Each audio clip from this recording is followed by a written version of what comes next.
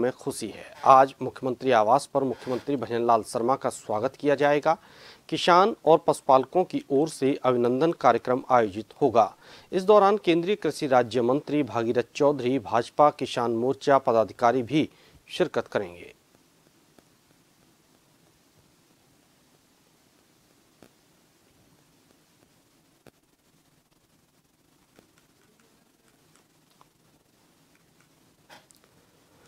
राजस्थान के बजट से किसान वर्ग में खुशी है।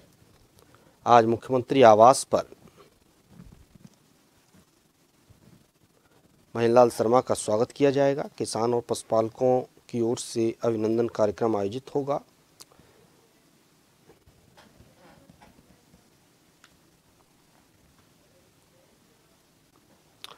और ज़्यादा जानकारी के लिए हमारे साथ संवाददाता अनिल सेन जुड़े हुए हैं।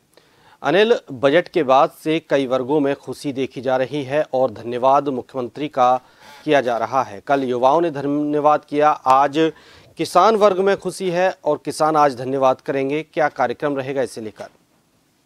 देखिए, बिल्कुल सीएम आवास के ऊपर हम देखेंगे, थोड़ी देर में किसान वर्ग वहाँ पर पहुँच रहे हैं।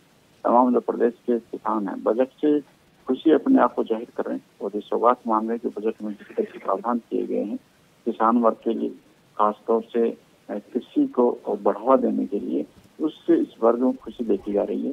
कृषि राज्य मंत्री भागीरथ चौधरी भी इस कार्यक्रम में शामिल होंगे और उसके साथ साथ भाजपा किसान मोर्चा के जो पदाधिकारी कार्यकर्ता हैं, वो भी इस दौरान मौजूद रहेंगे।